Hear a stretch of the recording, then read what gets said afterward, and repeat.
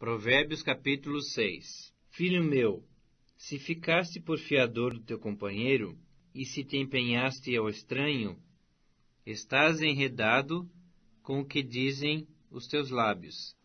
Estás preso com as palavras da tua boca. Agora, pois, faze isto, filho meu, e livra-te, pois caíste nas mãos do teu companheiro. Vai, prostra-te, importuna o teu companheiro não dês sono aos teus olhos, nem repouso às tuas pálpebras. Livra-te como a gazela da mão do caçador, e como a ave da mão do passarinheiro. Vai ter com a formiga, ó preguiçoso. Considera os seus caminhos e sê sábio. Não tendo ela chefe, nem oficial, nem comandante, no estio prepara o seu pão.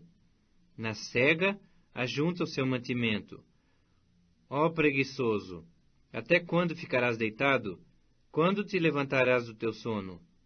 Um pouco para dormir, um pouco para toscanejar, um pouco para encruzar os braços em repouso?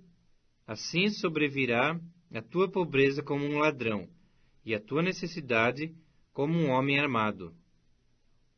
O homem de Belial, o homem vil, é o que anda com a perversidade na boca, acena com os olhos, arranha com os pés e faz sinais com os dedos.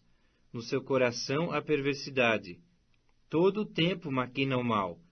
Anda semeando contendas, pelo que a sua destruição virá repentinamente. Subitamente será quebrantado, sem que haja cura.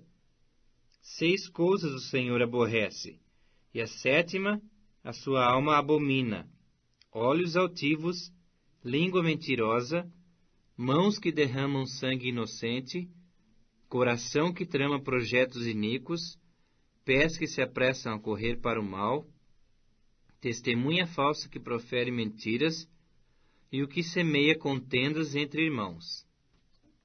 Filho meu, guarda o mandamento de teu pai, e não deixes a instrução de tua mãe.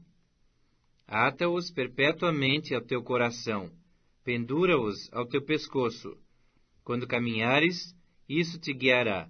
Quando te deitares, te guardará. Quando acordares, falará contigo, porque o mandamento é lâmpada e a instrução luz. E as repreensões da disciplina são o caminho da vida, para te guardarem da vil mulher e das lisonjas da mulher alheia.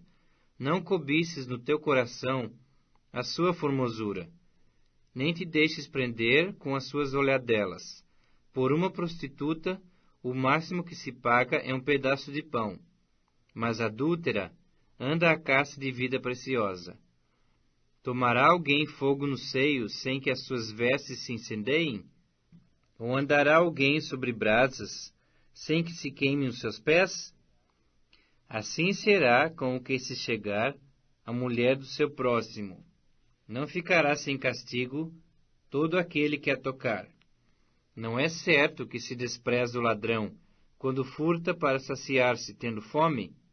Pois este, quando encontrado, pagará sete vezes tanto. Entregará todos os bens de sua casa. O que adultera com uma mulher está fora de si.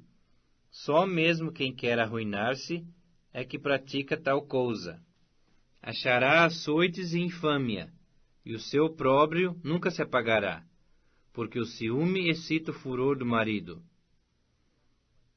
E não terá compaixão no dia da vingança. Não se contentará com o resgate, nem aceitará presentes, ainda que sejam muitos.